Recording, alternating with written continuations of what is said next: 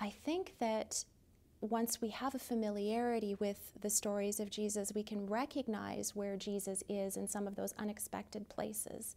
You know, he could be that person who has this charismatic spirit and compels you to make a change in your life, a change that calls you away from what is familiar, you know, in the case of the disciples, away from fishing, um, into this place of radical risk and um, uncertainty.